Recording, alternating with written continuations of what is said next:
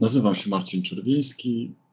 Zawodowo zajmuję się literaturą, ale nie tylko literaturą, e, bo też e, różnymi e, dziedzinami sztuki, to już bardziej prywatnie. I chciałbym dzisiaj opowiedzieć o relacjach faszyzmu i sztuki. Wydaje się, że sztuka i faszyzm to oksymoron, jak mi uświadomił kolega, wrocławski artysta sztuk wizualnych Andrzej Urbański. Dlaczego? Mianowicie, chyba możemy postawić założenie, że sztuka, tak jak ją dzisiaj rozumiemy, wymaga wolności ekspresji, opiera się na poszukiwaniach środków wyrazu, a zatem wymaga wolności poszukiwań e, formalnych również. Tymczasem faszyzm, e, tak mówiąc na razie zupełnie najogólniej, neguje wolność i różnorodność, tępi wyobraźnię, czyli zdolność widzenia alternatywy. Faszyzm uwielbia, choć nie jako jedyny, ornament. Mówiąc inaczej, ornament, czyli motywy czysto zdobnicze, najlepiej, uwaga, zabrzmi to y, trochę niepokojąco, ale niestety faszyzm niepokoi. Najlepiej, jeśli chodzi o ornament ludzkich ciał. Co się kryje pod tą metaforą? Ornament ciał, można by powiedzieć, to choreografia uwięzienia. Kolejna metafora, jak wskazał mój kolega Andrzej. E, a o tym wspomina też francuski filozof Jacques Rancière choreografia uwięzienia, choreografia monokultury, choreografia propagandy. E, już wyjaśniam. Niemieccy naziści w latach 30. zeszłego wieku wykorzystywali w swoich wielkich spektaklach politycznych, takich jak zjazdy ich partii NSDAP albo różnego rodzaju imprezy sportowe, łącznie z olimpiadą, Wykorzystywali wtedy choreografię takiego awangardowego e, tancerza oraz teoretyka tańca, e, a mianowicie e, Węgra Rudolfa Labana. I uważali, że to będzie te właśnie koncepcje, które Rudolf Laban wprowadził do nowoczesnego tańca, doskonale sprawdzą się w ich ich, czyli faszystowskich, nazistowskich widowiskach. No i co się okazało? Rewolucyjna teoria tańca, którą, e, którą wypracował Laban, utraciła wtedy swój potencjał wywrotowy. W zamian miała stać się jedynie ornamentem, ozdobnikiem dla idei faszyzmu. I to takim ozdobnikiem, który właśnie tworzyły ciała ludzkie, ruch tych ciał w wielkich przestrzeniach. E, Laban współpracował przez pewien czas e, z władzami III Rzeszy. Niedługo jednak, po kilku latach, mm, kiedy okazało się, że jego sztuka nie jest w stanie potwierdzić propagandowego wymiaru e, nazizmu, ten węgierski choreograf musiał z Niemiec emigrować przy ornamencie ciał, przy tej metaforze, warto też powiedzieć, że o ile takie właśnie polityczne widowiska we wczesnych latach 30. mogą wydawać się czymś niewinnym, to ostateczne konsekwencje były straszne i szokujące, bo przecież jeśli wyobrazimy sobie zdjęcia z obozów koncentracyjnych, obozów zagłady, zdjęcia ofiar, to tam też mamy do czynienia ze specyficzną choreografią ciał, ze specyficzną choreografią ofiar. Straszną choreografią, tragiczną choreografią. Więc taka jest ścieżka faszyzmu. Można chyba to najprościej podsumować, tamtego faszyzmu w latach 30. Ale jeszcze wcześniej we Włoszech, zanim Mussolini i jego czarne koszule doszły do władzy, już na, na samym początku e, wieku XX, w roku 1909, Futuryści włoscy z Marinettim na czele postulowali w swoim manifestie w następujący sposób. Cytuję: Chcemy sławić wojnę, jedyną higienę świata, militaryzm, patriotyzm, gest niszczycielski anarchistów, piękne idee, za które się umiera. Za które się umiera, powtórzę. Brzmi to zupełnie jak wypowiedź prototypowa dla faszyzmu, e, sławiąca zarówno wojnę, jak i militaryzm jako rodzaj narzędzi do rozwiązywania problemów, tak jakby nie istniały inne, bardziej racjonalne narzędzia i bezpieczne narzędzia. Ten sam Marinetti niedługo później, e, co może nie będzie nas dziwiło, stał się zwolennikiem włoskiego faszyzmu i Mussoliniego właśnie. W roku 24 wydał książeczkę zatytułowaną Futurizmo e fascismo, czyli e, łatwo się domyślić futuryzm i faszyzm, w której dowodził, że faszyzm to najdoskonalsza droga do realizacji postulatów, jakie wysyłali futuryści. Ostatecznie Marinetti został członkiem rządu faszystowskiego. Takie są niestety relacje e, sztuki faszyzmu. Kiedy zastanawiałem się, co, o czym mógłbym dzisiaj w czasie tego odczytu opowiadać, e, pomyślałem o tym, że przede wszystkim mieszkam we Wrocławiu, a jakiś czas temu e, mieszkałem też we Wrocławiu, ale w, innym, w innej dzielnicy i to, i, i to przy ulicy, przy której w latach 90. zamordowano czarnoskórego. Mówię o tym nieprzypadkowo, bo rasizm, taki był prawdopodobnie motyw tego zabójstwa. Bo rasizm jest jednym przecież z czynników, jakie e, współtworzył faszyzm. E, koncepcja nadczłowieka i tak dalej, i tak dalej. E, we Wrocławiu e, w roku 1933, 1933, e, jak w całych Niemczech Hitlera, przeprowadzono potężną akcję palenia książek, która została zainicjowana, co smutne, przez niemieckich studentów. Chociaż zainspirowani byli oczywiście przez NSDAP, partię hitlerowską. W moim Wrocławiu, wtedy Breslau, stało się to 10 maja roku 1933. Palono wtedy książki na dzisiejszym Placu Wolności, wtedy Placu Zamkowym. E, po niemiecku to Schlossplatz. Na indeksie hitlerowców znalazło się aż 131 autorów.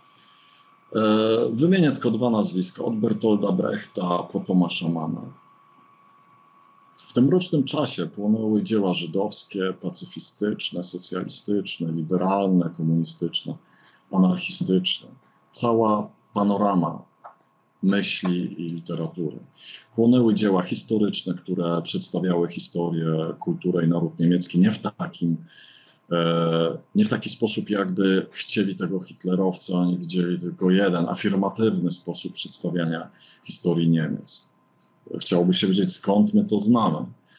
Płonęła wtedy literatura, nawet płonęła literatura popularna i, i pornograficzna, a także dotycząca edukacji seksualnej to wydawało się niepotrzebne hitlerowcom. Zresztą jeden z takich instytutów zajmujących się seksualnością człowieka został w Niemczech zdemolowany. E, płonęły książki również e, dotyczące sztuki nowoczesnej, bo sztuka awangardowa była według nazistów zdegenerowana.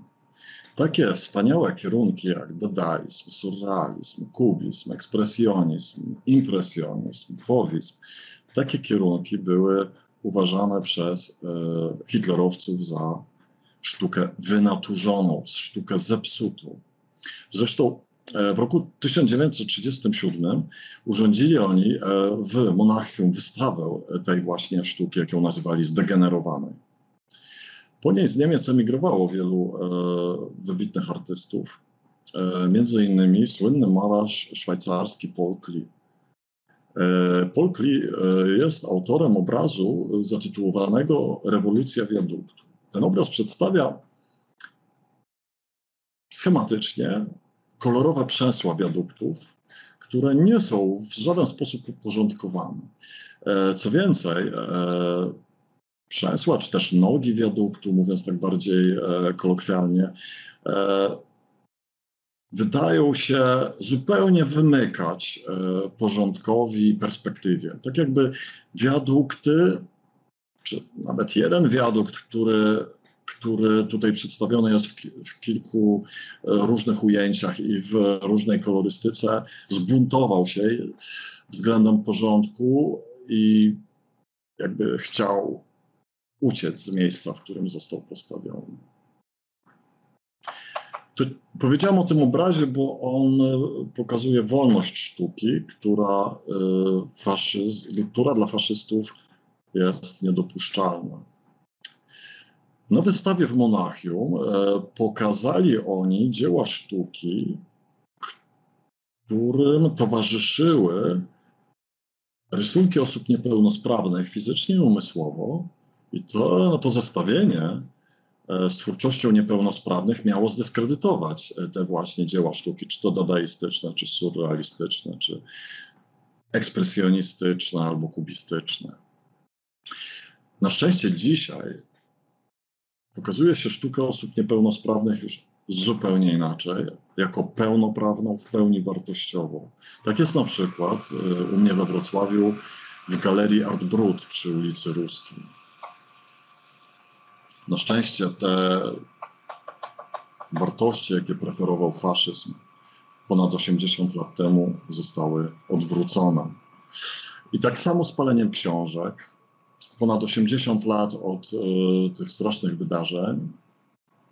Y, dzisiaj we Wrocławiu postacie polskiego życia publicznego w tym samym miejscu, bo na Placu Wolności, czyli Schlossplatz, y, czytają te postacie na głos literaturę światową tu wtedy tępiono w III Rzeszy.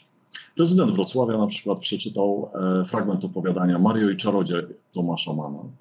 Wrocławska poetka Urszula Kozioł czytała wiersze Pola Selana, e, krakowski poeta Ryszard Krenicki czytał wiersze Bertolda Brechta oraz Nelly Sachs, a Jacek Podsiadło fragment powieści Jacka Londona. E, nie mógłbym nie powiedzieć o tym, że także noblistka Olga Tokarczuk przeczytała e, tutaj we Wrocławiu fragment e, procesu Franca Kawki. Więc w takim Wrocławiu teraz mieszkam.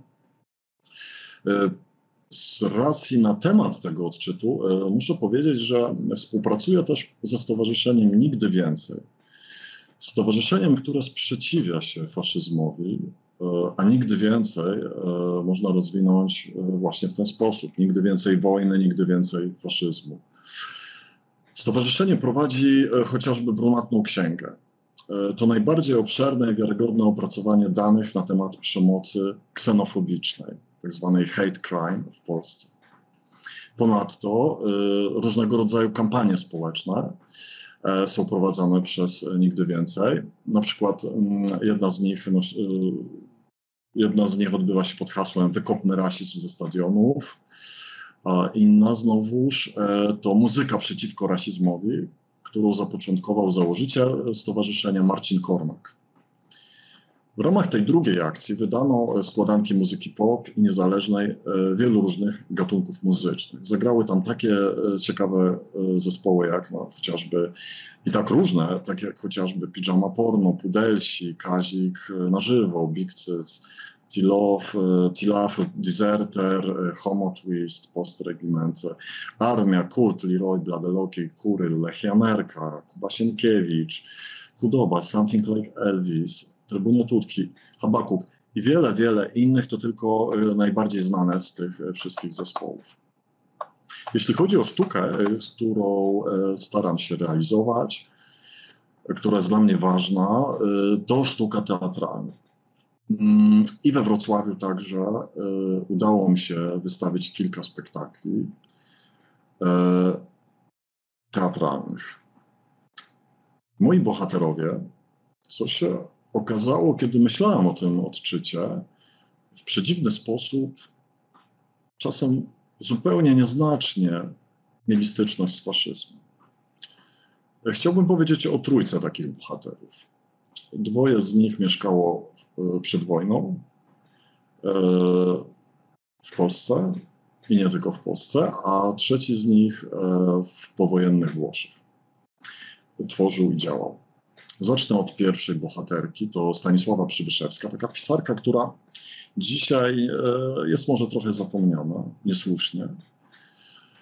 Jest córką, łatwiej ją można zidentyfikować, kiedy, kiedy uświadamiamy sobie, że jest córką smutnego szatana z czasów Młodej Polski, czyli Stanisława Przybyszewskiego.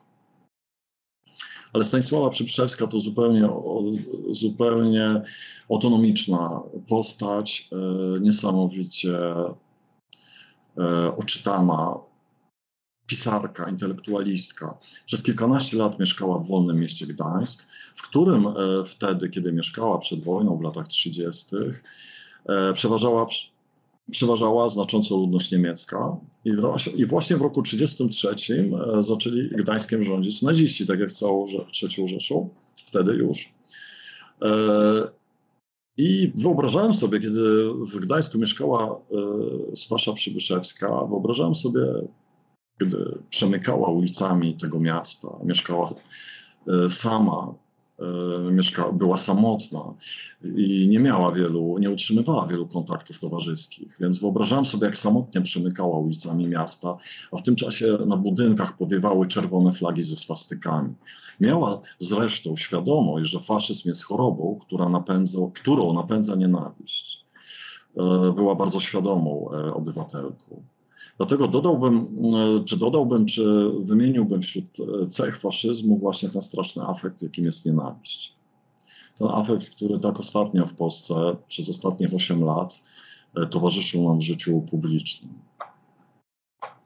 Kiedy w roku 1933 spłonął berliński Reichstag i o podpalenie naziści oskarżyli młodego holenderskiego komunistę, bardzo młodego chłopaka. On chyba jeszcze nawet nie miał 18 lat. E, nazywał się Marinus van der Lubbe. I co wykorzystali e, naziści jako pretekst do bezwzględnej walki z opozycją, Przybyszewska bardzo się tym przejęła i jak pisała w jednym z listów, e, była bardzo pod wrażeniem odwagi tego młodego podpalacza. Został on przez hitlerowców oskarżony, a niecały rok później stracony. Dopiero w roku 2008 wyrok ten unieważniono, więc możemy sądzić, że Marinus van der Lubbe był jednak niewinny. Hitlerowcy go po prostu w ten, e, w ten e, w to podpalenie zamieszali. Kolejny mój bohater e, to Bruno Schulz, którego literatury nie trzeba przedstawiać, tego fantastycznego, wyjątkowego sposobu pisania. Historia Brunona Schulza, jak to powszechnie wiadomo, jest tragiczna. Powiem tylko tyle, że zginął 19 listopada roku 1942 w czasie wojny e, na terenie getta e, zastrzelony przez hitlerowca. Nie wyjechał z Drohobycza, może gdyby wyjechał, może przeżyłby e, zagładę, przeżyłby Holokaust. Ale tak się nie stało. Teraz pewna anegdota. A mianowicie, kiedy Hitler przegrał wojnę i nazizm się zakończył, Amerykanie stacjonujący w Niemczech prowadzili denazyfikację, czyli oczyszczenie z hitlerowców, e, instytucji e, publicznych, e, prowadzili denazyfikację za pomocą kin. Jak pisze mój kolega Piotr Korczyński, z które korespondenci wojenni sporządzili w niemieckich obozach koncentracyjnych, zmontowano film pod tytułem Młyny Śmierci i zaczęto go wyświetlać w niemieckich kinach. Film był tak drastyczny, że zakazano jego emisji na przykład w Stanach Zjednoczonych. Amerykański reżyser Billy Wilder, który zajmował się w Niemczech e, oczyszczaniem przemysłu filmowego z brunatnych, czyli faszystowskich naleciałości, nie wierzył, że ten film wywołał u Niemców skruchej refleksję. Miał rację. Widzowie niemieccy masowo wychodzili z kin lub po prostu zamykali oczy przed ekranem. E, jak stwierdził Billy Wilder, e, Niemcy przez 12 lat tak bardzo przyzwyczaili się do wszelkiego rodzaju propagandy, że już nic nie robiło na nich wrażenia, a teraz musieli jeszcze walczyć o byt w powojennej, bardzo trudnej rzeczywistości zrujnowanych, okupowanych Niemiec. E, w związku z tym Billy Wilder zaproponował zupełnie inny projekt, który nazwał Propagandą za pomocą rozrywki. Pomyślał, że można będzie ucywilizować Niemców po nazizmie za pomocą lżejszych gatunkowo filmów, w których będą e, pojawiały się wątki romansowe.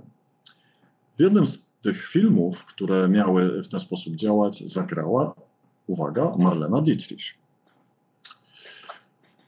I trzeci mój bohater, a mianowicie Pierpaolo Pasolini. Już teraz przechodzimy do czasów powojennych, bo e, Pasolini w tych czasach właśnie tworzył.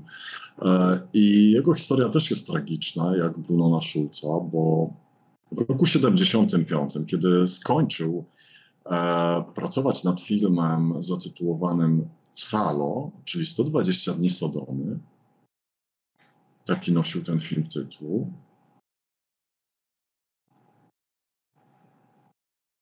Za, zaraz, niedługo po zakończeniu prac, został, on nawet chyba nie skończył tych prac, został zamordowany. E, wtedy wydawało się, że został zamordowany z powodów obyczajowych. Dzisiaj coraz częściej napomyka się, że było to morderstwo polityczne. Możliwe, że został zamordowany przez włoskich neofaszystów. A dlaczego jeszcze o tym za chwilę powiem. Ale teraz o Salo. Salo, czyli 120 dni Sodomy, budziło olbrzymie kontrowersje. A mianowicie akcja tego filmu e, jest oparta na powieści Markiza de Sade e, i została osadzona w czasie II wojny światowej na północy Włoch, w założonej wtedy przez Mussoliniego Włoskiej Republice Socjalnej, która była oczywiście tworem faszystowskim. Pasolini pokazał w tym filmie e, cały szereg perwersji, cały szereg e, patologii związanych z przemocą, jeśli chodzi o kwestie seksualne. Można powiedzieć, że takimi tricksterami e, tej seksualnej przemocy w filmie są e, funkcjonariusze państwa tegoż właśnie faszystowskiego. E,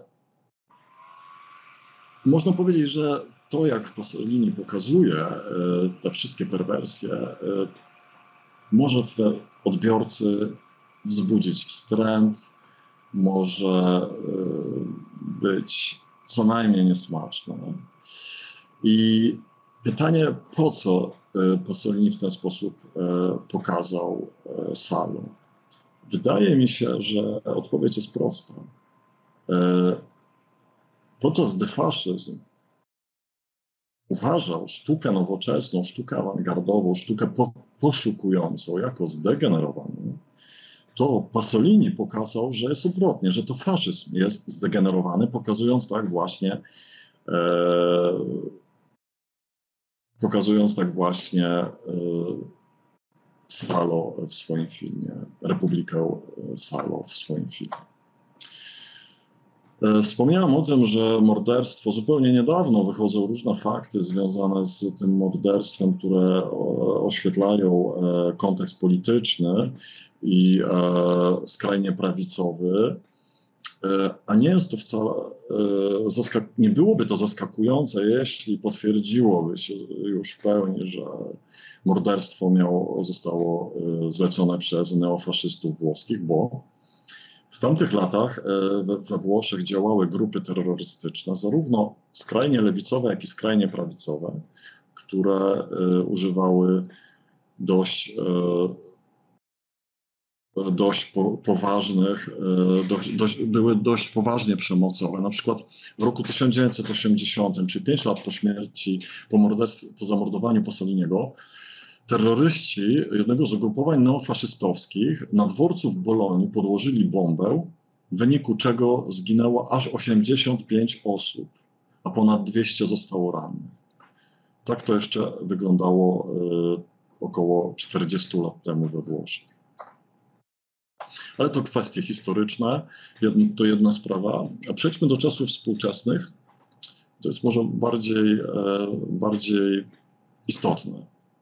O ile literalni neofaszyści we współczesnej Polsce, bo myślę, że to jest też istotne, żebyśmy pomyśleli o tym, co nas otacza, pomyśleli właśnie o Polsce, aktualnej Polsce to ile literalni neofaszyści, ci, którzy odwołują się do symboliki faszystowskiej czy nazistowskiej, ci, którzy lubią zakładać mundury e, nazistowskie, używają swastyk, ci neofaszyści nie mają wielkiego wpływu na bieg spraw. Wydaje mi się, że to raczej niszowe zjawisko. Jakiś czas temu tacy neonaziści gdzieś na Górnym Śląsku, jeśli się nie mylę, świętowali któreś tam z urodziny Hitlera. Ale jako społeczeństwo i państwo w miarę no, jesteśmy przeciwni takim właśnie zjawiskom, no bo przecież doznaliśmy potężnych szkód w wyniku zbrodni niemieckich nazistów w czasie II wojny światowej. E, więc takimi zjawiskami specjalnie bym się nie przejmował. Oczywiście to moja opinia. Natomiast generalnie zjawiska faszyzmu nie wolno nam bagatelizować. Zwłaszcza kiedy, a mianowicie wtedy, kiedy faszyzm nie ujawnia się e, w tym e, formalnym onturażu e, symboliki i mundurów i tak dalej, militaryzmu, czy taki faszyzm, który odnosi nas bezpośrednio, czy to do Włoch Mussoliniego, czy to III Rzeszy Hitlera, czy Hiszpanii generała Franco.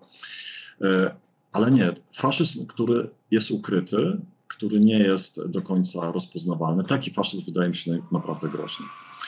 E, taki faszyzm potrafi się ukryć w eleganckim garniturze młodego, zadbanego polityka, wykształconego, wydającego się nowoczesnym, kulturalnym człowiekiem, a jednocześnie potrafiącego wykluczyć ze społeczeństwa na przykład osoby LGBT, Żydów, uchodźców czy aktywistów lewicowych. Takich polityków niestety spotykamy dzisiaj e, e, w mainstreamie nawet nawet w parlamencie. Patrząc jeszcze szerzej, faszyzm określa się czasem nawet jako czarny i czerwony, widząc po prostu w nim taką ideologię, która stawia zniewolenie i przemoc zaprzeczające demokracji.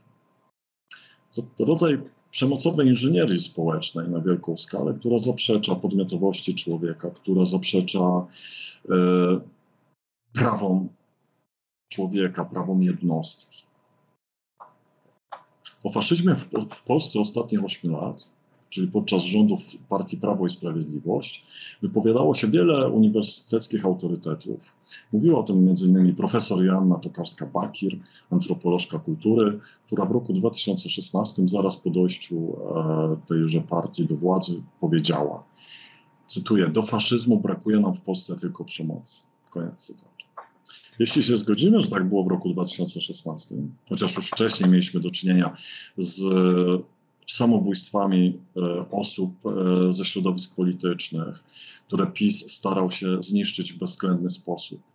Tutaj wymienię chociażby samobójstwo Barbary Blidy, samobójstwo Andrzeja Lepera, czy też taki sygnał ostrzegawczy, ostrzegawczy samobójstwo szarego człowieka przed Pałacem Kultury który nie mógł znieść e, poziomu kłamstwa i e, łamania prawa e, w ówczesnej Polsce, to, to właśnie należałoby do, do, do, do, dołączyć tutaj, bo po roku 2016 właściwie Szary Człowiek to właśnie ten czas drugich rządów PiS, Doszło do przecież do zabójstwa Pawła Adamowicza, który był zaszczuwany przez partię przejętych przez nią mediach publicznych. I mogła to być motywacja zabójcy, który co prawda nie był, nie należał do partii, ale y, ta propaganda, która uprawiały media publiczne, pisowskie, mogła go do tego zmotywować. E, jeszcze później po strajkach kobiet dochodziło do licznych aktów przemocy wobec kobiet ze strony służb państwowych. Dochodziło do incydentów e, na granicy z Białorusią i tam e, do przemocy służb państwowych wobec uchodźców, imigrantów, co pokazała dobitnie Agnieszka Holland w filmie Zielona Granica. W filmie mocno udokumentowanym. Polska pod rządami PiSu łamała konwencje międzynarodowe, godziła się delikatnie mówiąc, a raczej przyczyniała się do wielu śmierci zdesperowanych ludzi przekraczających nielegalnie granice. E, potem jeszcze samobójstwo popełnił syn posłanki Magdaleny Felix, którego prywatności nie uszanowali e, funkcjonariusze e, partii i państwa. I to nie wszystkie przykłady przemocy. Ograniczyłem się tylko do tych kilku przykładów. Bez wątpienia panowała zdecydowanie przemoc symboliczna, gdy zaszczuwano wiele osób publicznych, i to ona głównie prowadziła do tragedii ludzkich. O faszyzmie w Polsce, tak jak powiedziałam, mówią e, badacze. E, e, mówił między innymi o faszyzmie w Polsce PiSu profesor psychologii Maciej Górecki, o faszyzmie w tym czasie mówił profesor prawa Marcin Matczak, który stwierdził między innymi, że cytuję, faszystowskie państwo PiS zaktywizowało rzeszę przeciętnych ludzi, którzy oprócz gorliwej nienawiści nie mają wiele do zaoferowania. Tutaj właśnie znowu, koniec cytatu, tutaj właśnie znowu pojawia się ponownie e, kwestia nienawiści, tak mocno wprowadzana do dyskursu publicznego przez, e, przez funkcjonariuszy e, Prawa i Sprawiedliwości. Co ciekawe, partia potrafiła pozwać demaskatorów jej faszystowskiej natury, jak stało się to na przykład z gazetą myszkowską, e, ale no, ograniczała się do takich właśnie lokalnych, e, lokalnych adwersarzy, a osoby e, postawione, osoby związane z uniwersytetami, tych e, chyba nie miała odwagi pozywać do sądu. No, myślę też, że, e, że osoby, które wskazywały na ten faszyzujący czy faszystowski charakter e, polityki PiSu, umiałyby to mocno zargumentować. Oczywiście szerzej mówi się o Prawie i Sprawiedliwości, że to ugrupowanie populistyczne. Zastanawiając się nad jego charakterem, czy jest to faktycznie ugrupowanie faszystowskie, w tym pomoże nam, e, w odpowiedzi na to pytanie, pomoże nam szkic słynnego włoskiego semiologa, profesora Uniwersytetu we Florencji, Bolonii, nieżyjącego już niestety e, badacza Umberto Eco. E, Umberto Eco e, właśnie wydał taki szkic, w którym zastanawia się nad tym, czym jest faszyzm współczesny. I podał tam kilkanaście takich e, istotnych cech według niego, które pomagają nam dzisiaj rozpoznać faszyzm. I rozpoznać i alarmować a mianowicie kult tradycji to jedna z takich cech, która sam w sobie nie jest niczym złym oczywiście, ale jeśli e, towarzyszy mu sprzeciw wobec nowoczesności, tak jak pamiętamy z czasów e, nazizmu w Niemczech, to co nowoczesne, awangardowe było złe, e, tylko tradycja jest tutaj afirmowana, no to oczywiście możemy sobie pomyśleć także o tym, jaki stosunek do kultury i sztuki e, miały rządy PiSu. Jeśli dołączymy do tego kult bohaterów i śmierci, czyli e, tych wszystkich, którzy walczyli o Polskę, e, oddając swoje życie w zamian, no to wszystko nam to dopełnia obrazu. Oczywiście sam kult bohaterów nie jest tak, że niczym złe. No, chyba każdy rodzaj patriotyzmu się opiera na kulcie bohaterów, możemy chyba tak powiedzieć, ale jeśli jest to propagandowy kult bohaterów, jest to nakazowy kult bohaterów i e, kult bohaterów, który nie pozwala na innego rodzaju e, myślenie, e, zwłaszcza krytyczne, myślenie wobec własnej historii. Ja wiem przecież, jaka była polityka historyczna PiSu. Tutaj krytyczna e, myśl w ogóle była niedopuszczana. Wiemy, jak e, PiS tępiło historyków, którzy pokazywali też mroczne strony polskiej historii, co przecież, z czego moglibyśmy być dumni, że jesteśmy w stanie spojrzeć w naszą przeszłość tak właśnie krytycznie no to PiS tego nie uznało. Tam się liczyło tylko Polska to, o Polsce można było mówić tylko dobrze, absolutnie źle. Więc e, to wszystko razem działało, ten kult e, właśnie tradycji, sprzeciw wobec nowoczesności, kult bohaterów. W sztuce na przykład e, preferowano takiego malarza jak Ignacy Czwartos, który malowa, maluje portrety żołnierzy wyklętych którzy przecież są bardzo kontrowersyjnymi postaciami. Nie wszyscy, rzecz jasna, ale zdarzają się tam również e, ludzie, którzy mają na koncie, mają na sumieniu, e, mają na sumieniu e, mordowanie ludności cywilnej. Co jeszcze tutaj Eko wskazywał? No, na przykład kult działania. Działanie dla działania, tutaj od razu sobie myślę o dobrej zmianie, która była takim walcem. Gdy szła dobra zmiana, to się nie liczyło e, meritum, nie liczyło się kwestie merytoryczne, a jedynie e, samo, sama, sama zmiana dla zmiany. Nie liczyła się, mm, nie liczyły się na przykład kompetencje, dorzucano jednych ludzi, a wstawiano zamiast nich tych, których właśnie niosła na fali dobra zmiana, ze względu właśnie na ich wiedzę, kompetencje, e, wykształcenie. Co jeszcze? Te, wiara w teorie spiskowe różnego rodzaju, tutaj ekonom o tym mówi. E, mówi nam o takim myśleniu czarno-białym, e, czyli gdy ktoś się z nami nie zgadza, moglibyśmy no, tak potocznie to powiedzieć, jest zdrajcą.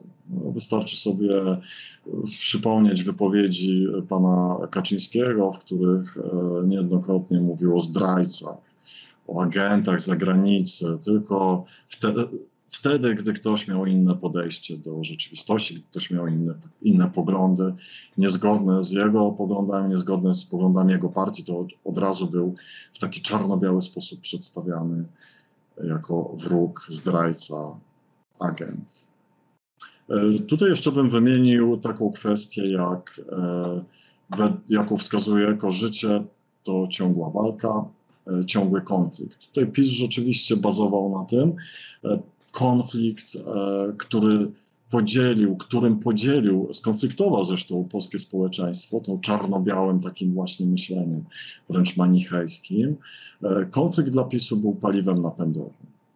A zatem te wszystkie kwestie, e, które, które przedstawiłem, a jeszcze by trzeba było powiedzieć o kilku innych, takich jak nacjonalizm i ksenofobia, lęk przed różnorodnością, tutaj, jeśli chodzi o nacjonalizm, można zacytować ojca premiera Morawieckiego, którego PiS uczynił e, marszałkiem seniorem, kiedy doszedł do władzy. I marszałek senior powiedział takie straszne słowa: Ponad prawem stoi wola narodu. Czyli prawo się nie liczy, jeśli wola narodu, jakaś taka abstrakcyjna, e, wyrazi się tak, a nie inaczej, to prawo można po prostu obalić. E, no, więc to jest bardzo znaczące w kontekście tych właśnie, e, tych właśnie kwestii, które nam naświetla eko. Co jeszcze? Jeszcze przynajmniej dwie takie kwestie e, wymieniłbym. Pogardę wobec kobiet. Tutaj doskonale było to widoczne w ostatnich ośmiu latach, kiedy przyjrzymy się, jak PiS traktuje kobiety, jak odbierają, jako, jak traktował, jak odbierał im wolność, macierzyństwa, wolność w podejmowaniu decyzji, jak zabierał antykoncepcję e, kobietom, e, jak zabraniał aborcji nawet w najbardziej ekstremalnych sytuacjach. Nie pozwalał decydować o swoim ciele, e, jakby do kogoś innego należało. Obok pogardy wobec kobiet, swoistego antyfeminizmu, tutaj jeszcze Eko mówi o homofobii, no, o tej nienawiści PiSu do e, środowisk LGBT nie trzeba wiele mówić. To było obecne cały czas w mediach, które partia przejęła. Tam media szczuły na środowiska LGBT non-stop. Nawet, jak wiemy, wypowiedź prezydenta była też tutaj pod tym kątem bardzo specyficzna, znacząca. Eko mówi o populizmie także, to znaczy chyba w jakiejś mierze utożsamia y, zjawiska populistyczne w polityce z faszyzmem. E, tutaj oczywiście populizm e, przejawia się w tym, że ta wola narodu jest, wola suwerena, jak to lubił mawiać PiS, jest najważniejsza, bez względu na to, co mają do powiedzenia środowiska mniejszościowe. E, suweren zresztą był takim wytrychem, bo przecież cały naród, całe społeczeństwo nie popierało tej partii, popierało je, ją e, mniejszość przez wiele lat, przez, wiele, przez większą część z tych ośmiu lat. E, co najwyżej połowa, ale to było, jeśli dobrze pamiętam, z reguły mniej niż połowa. E, więc większość społeczeństwa była mniejszością, ale PiS używał tego wytrychu, że to suweren go popiera, więc on ma prawo robić, co mu się żywnie podoba, łamać prawo, konstytucję e, z takim znowu wytrychem, że to dla dobra Polski, mimo że większość społeczeństwa tak nie uważała, że to dla dobra Polski. Więc tutaj bardzo mocno szafowano sobie różnymi pojęciami, zaprzeczając ich prawdziwemu znaczeniu. I tutaj odnoszę się do, do kolejnej, e, do kolejnej cechy, jak, jaką przytacza Eko, czyli swoistej nowomowy. PiS zaprzeczało znaczeniom, konwencjonalnym znaczeniom języka, używając, odwracając te znaczenia. Można powiedzieć, na czarno mówiono białe, na białe mówiono czarne. Kiedyś prezes PiSu się tak właśnie przejęzyczył. No i to tutaj typowe, to przejęzyczenie bardzo dużo mówiło. Taka czynność pomyłkowa wskazywała na rzeczywistość, na rzeczywisty język PiSu. Jeśli chodzi o relacje ze sztuką i kulturą e, w tych ostatnich ośmiu latach, to chciałbym podać dwa przykłady, tak krótko. A mianowicie, jak PiS wpływał na instytucje, które zajmowały się kulturą i sztuką, czyli takie instytucje jak e, państwowe przede wszystkim, muzea, galerie, teatry, instytuty różnego rodzaju. E, poza tym oczywiście PiS sterował dotacjami dla czasopis, festiwali literackich, teatralnych, artystycznych, odbierał tym wszystkim, którzy mieli inne zdanie, inny światopogląd. Wspierał tylko tych, na zasadzie takiej właśnie manichejskiej wręcz, wspierał tylko tych, którzy zgadzali się z linią, z linią władzy. Reszta to byli oczywiście, e, to była zepsuta, e, zepsuta albo, albo zepsucia, zepsuta sztuka, albo agenci, albo zdrajcy, albo wrogowie Polski, właśnie w taki czarno-biały sposób. Więc bardzo wiele, e, bardzo wiele zjawisk w kulturze musiało upaść. Tak było na przykład z Teatrem Polskim we Wrocławiu, doskonałym teatrem wtedy, przed, przed e, e, rokiem 2000. No nie chciałbym tutaj skłamać, ale zanim PiS doszedł do władzy. Później nie zupełnie było to, e, zostało balone przez PiS, bo były tutaj różne takie, mm, można by powiedzieć, można by powiedzieć, komplikacje ale ostatecznie brał w tym udział minister kultury i sztuki, e, minister kultury i dziedzictwa narodowego dokładnie, Piotr Gliński e, i do, doprowadził chyba ostatecznie, można tak powiedzieć, do zniszczenia tego teatru. E, brał w tym udział przynajmniej. No i tak wiele instytucji zostało zepsutych przez PiS. Wprowadzana była wszędzie monokultura i propaganda. Jak to wyglądało? Chciałbym e, o dwóch takich e, instytucjach powiedzieć, które zajmowały się sztukami wizualnymi. Jedna z nich to Narodowa Galeria Sztuki Zachęta. Tam został przez ministra kultury wprowadzony e, nowy dyrektor Janusz Janowski.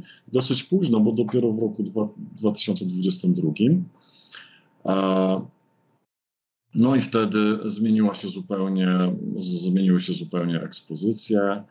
E, nowy dyrektor nie miał takiej świadomości współczesnego rynku sztuki. E, wydaje się, że nie miał doświadczenia po prostu.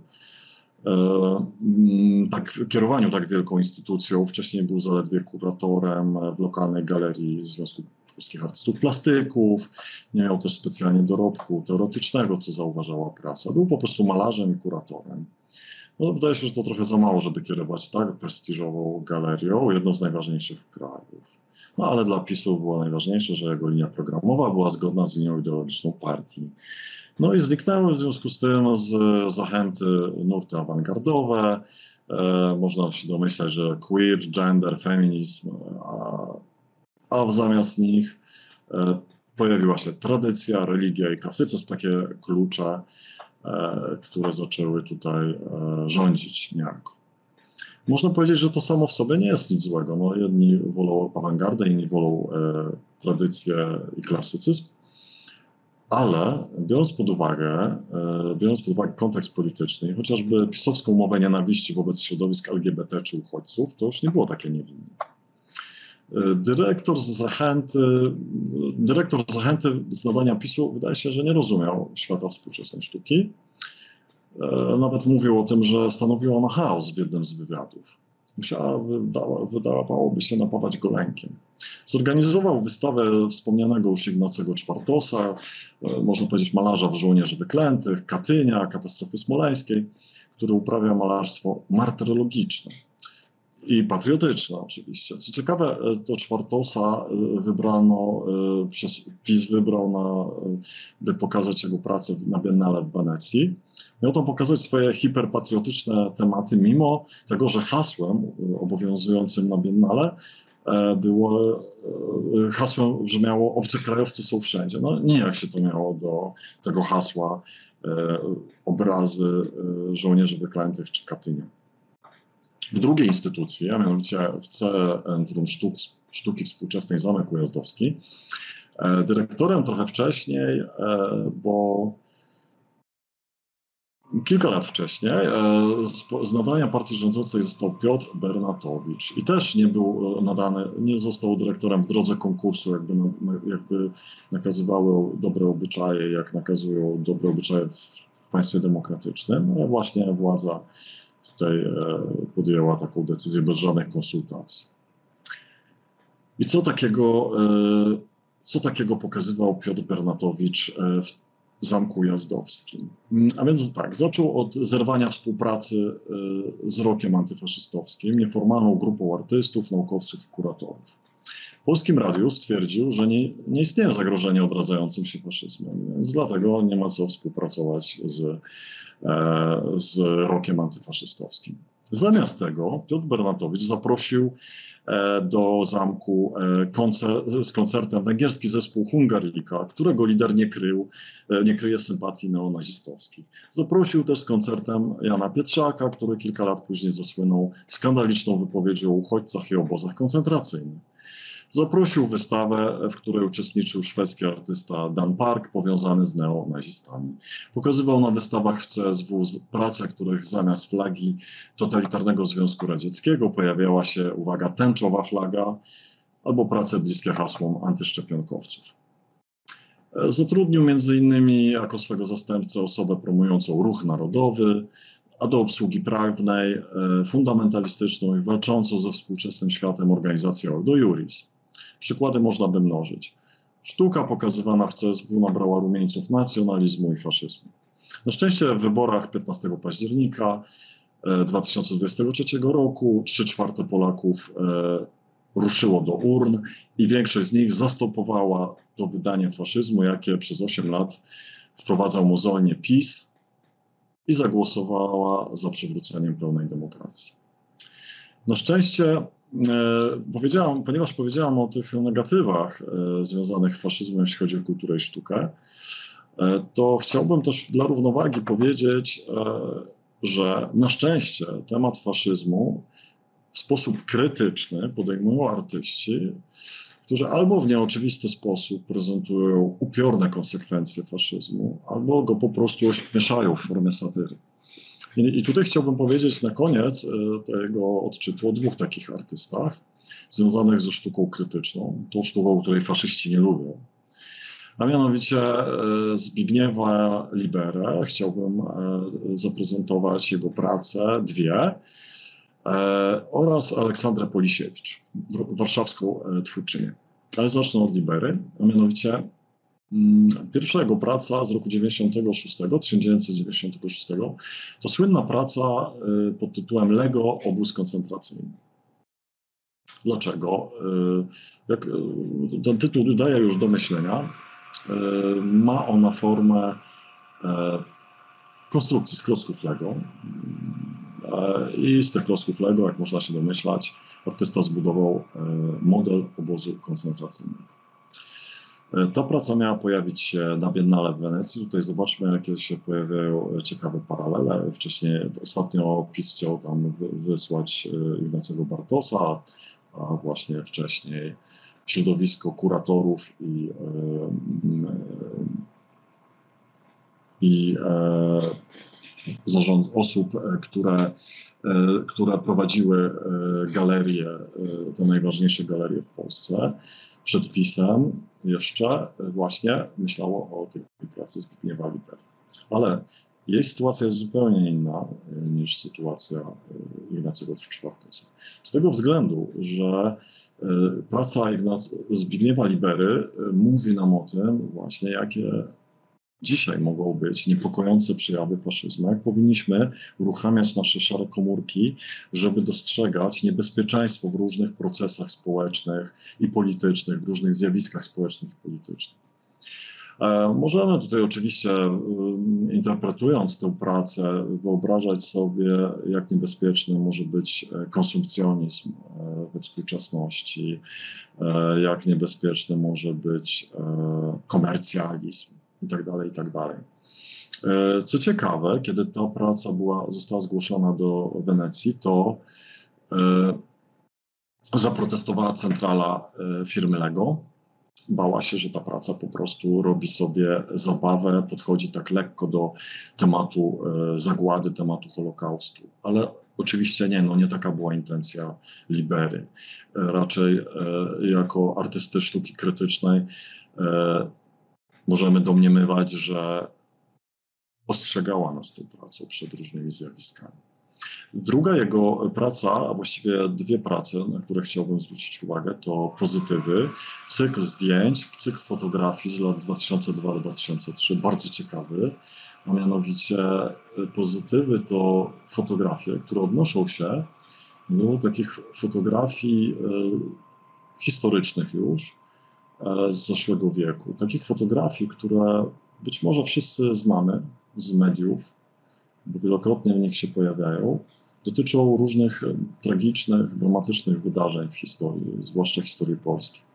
E, w dwóch pracach e, Libera odwołał się do czasów związanych z faszyzmem, kiedy to Hitler, Hit, Rzesza hitlerowska dokonała inwazji na Polskę.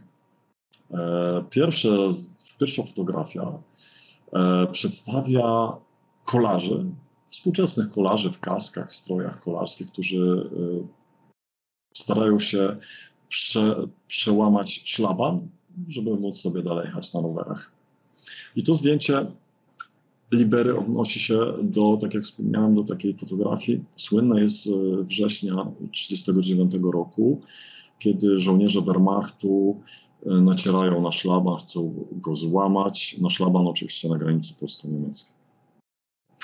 Drugie zdjęcie, e, o które chcę przepraszam, chciałbym powiedzieć, to zdjęcie, na którym postacie jakby turystów w śpiworach stoją za siatką i drutem kolczastym. Tym zdjęciem, jak można się domyślić, Libera nawiązuje do takich słynnych zdjęć, jakie obiegły prasę światową, e, kiedy wyzwalane były na, zarówno na terenie Polski, jak i terenie Niemiec obozy koncentracyjne e, i pokazywały tych, którzy przeżyli e, właśnie poprzez perspektywę ogrodzenia i drutu kolczastego. Te bardzo dramatyczne zdjęcia także właśnie posłużyły e, w serii pozytywy. Jaki, jaka, jak możemy się domyśleć, jaki był cel tutaj, e, jak, jak, jaka jest, jak można interpretować pozytywy Libery? Otóż Wydaje się, że na pewno nie po to, żeby robić sobie zabawę z tych dramatycznych i tragicznych wydarzeń XX wieku, ale po to, żeby w jakiś sposób uwolnić nas od pokłosia faszyzmu i nazizmu. E, tak jakby poddać nas terapii, psychoterapii, tak żeby te straszne rzeczy udało się y, przetworzyć na coś pozytywnego. Tak chyba można by to interpretować, e, bo one rzeczywiście, te zdjęcia, dotyczą wydarzeń, o których uczymy się w szkołach i w Polsce trudno nie wiedzieć o tym, jakie straszne rzeczy się wydarzyły w czasie wojny, ostatniej chociażby. E, więc e, to pozwala nam trochę lżej dzisiaj stąpać w stronę przyszłości. I druga e, twórczyni, druga artystka, e, Aleksandra Polisiewicz, o której bym chciał powiedzieć parę słów, stworzyła taki projekt, to też właśnie artystka e, w obszarze sztuki krytycznej, bardzo ciekawy projekt zatytułowany Wartopia w roku 2006.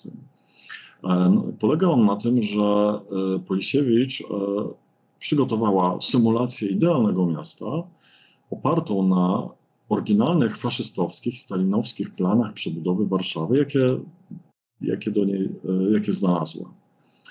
Możemy sobie wyobrazić, że to miasto, jakie prezentuje w swojej pracy, jest to miasto o architekturze odległe od codziennych potrzeb ludzi, monumentalne, nieprzyjazne, sterylne i nadmiernie uporządkowane. To miasto nie odpowiada codziennym potrzebom ludzi, ono bardziej jest, odpowiada potrzebom państwa, narodu, państwa, można powiedzieć, że tym abstrakcyjnym trochę y, kategorią, ale nie ludziom.